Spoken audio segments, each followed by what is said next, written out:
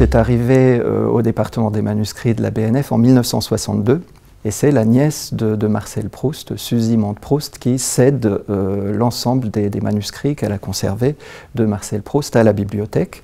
Donc arrive en 1962 un fonds colossal, hein, composé de plus de 75 cahiers de brouillon, des euh, épreuves corrigées, de toutes les notes euh, préparatoires.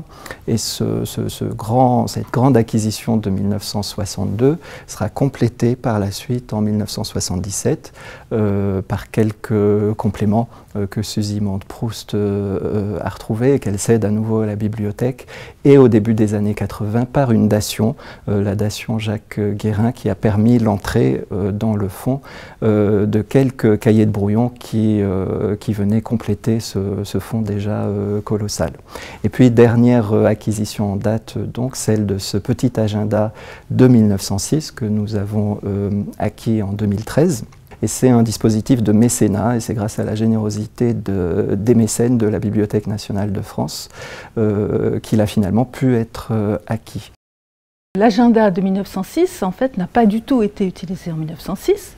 C'est un manuscrit que Proust a utilisé en 1909 et puis à nouveau en 1913 pour prendre des notes de travail pour la mise au net et puis après la publication de son premier volume.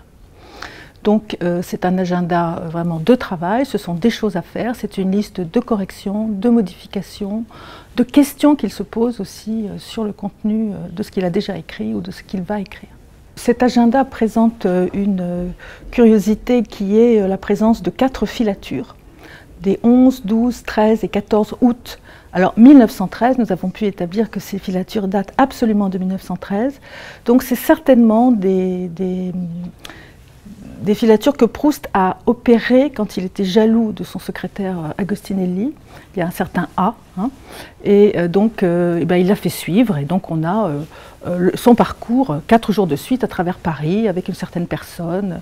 Ils vont à tel endroit, ils prennent tel fiacre, tel taxi G7, ils traversent le pont de la Concorde, etc.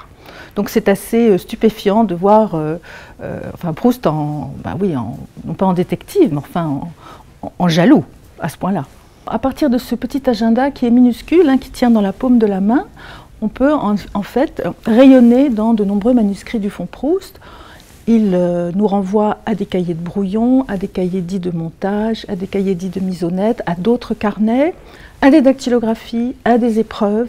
Et ce qui est assez extraordinaire, c'est qu'on y voit des morceaux qui étaient en 1909 dans le premier volume et qui, comme un peu comme la dérive des continents, qui, sont, qui ont passé après dans d'autres volumes, dans Sodome et Gomorre 2, dans euh, La prisonnière, etc. Donc c'est un, un, petit carnet qui, euh, où, la, recherche est encore en quelque sorte, pas du tout in nucléo, mais un peu resserrée, et va se déployer euh, au fil des ans. Je pense qu'on n'avait jamais, de, on n'a jamais eu un manuscrit qui était à ce point-là un, un agenda de travail, c'est-à-dire que les notes sont vraiment des notes de relecture pour des vérifications. Donc on voit à quel point Proust était scrupuleux euh, se poser de nombreuses questions. Il y a des questions euh, historiques, il y a des questions iconographiques, il y a des questions médicales, il y a des questions techniques, il y a des questions botaniques. Il voulait être sûr de ne pas écrire d'ineptie.